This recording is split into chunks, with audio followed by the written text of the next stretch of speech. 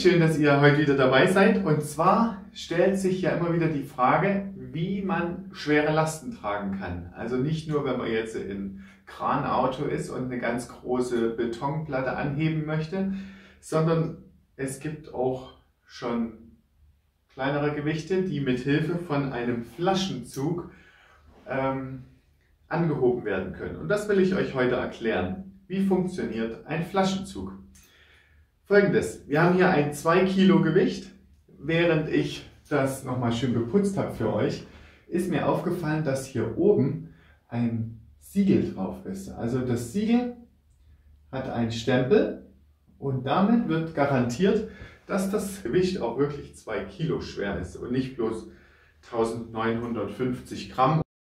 Prima, jetzt möchte ich euch erstmal das Einfachste vorstellen und zwar ist das die Umlenkrolle. Ich habe hier oben eine Umlenkrolle und mit der Umlenkrolle, wie der Name schon sagt, lenke ich etwas um. Und zwar lenke ich die Richtung um. Ich lenke die Richtung der Kraft um. Also ich habe jetzt hier zwei Kilo und ich muss für zwei Kilo nach unten ziehen. Also ich richte nur die Richtung der Kraft um. Das geht nach oben, während ich meine Hand nach unten ziehe. Das heißt, ich habe noch gar nichts gekonnt.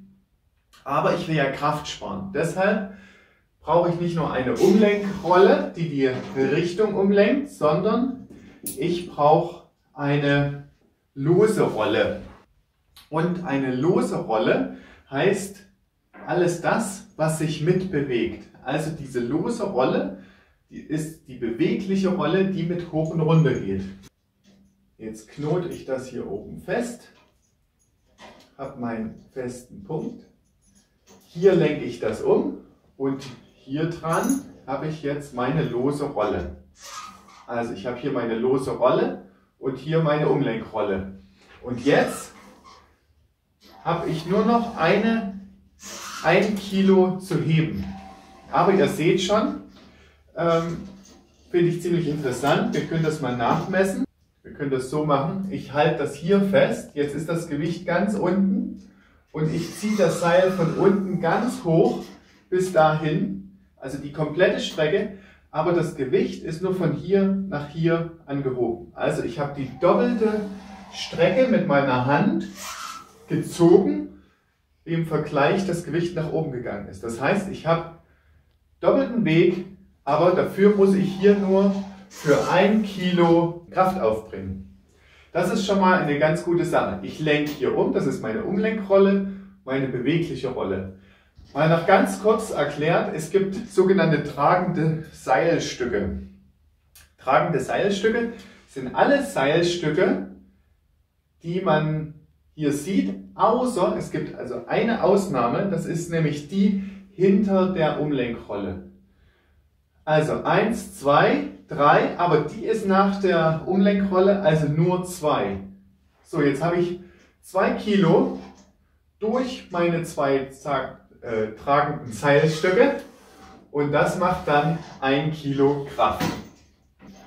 Das ist der Flaschenzug. Damit kann ich schwere Lasten tragen. Und wisst ihr, was der Clou ist?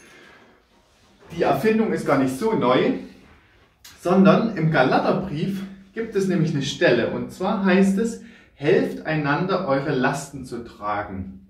Also, wenn mehrere Leute eine Last tragen, also hier sind es natürlich tragende Seilenden, Seilstücken, dann wird die Last leichter.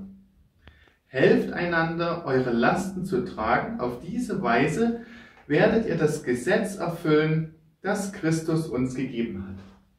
Jesus Christus hat uns gesagt, wir sollen einander die Lasten tragen. Also wir sollen einander helfen. Wenn jemand eine, eine schwere Zeit gerade hat, weil er in der Schule nicht klarkommt, irgendwie blödes Homeschooling oder vielleicht auch die Erwachsenen irgendwelche Probleme haben, dann können wir einander helfen und die Lasten tragen. Und das ist unsere Aufgabe. Und da können wir mal überlegen, wo ist denn unsere Aufgabe? Wo sieht denn, wo hat denn jemand anders eine Last, die ich mit anpacken kann.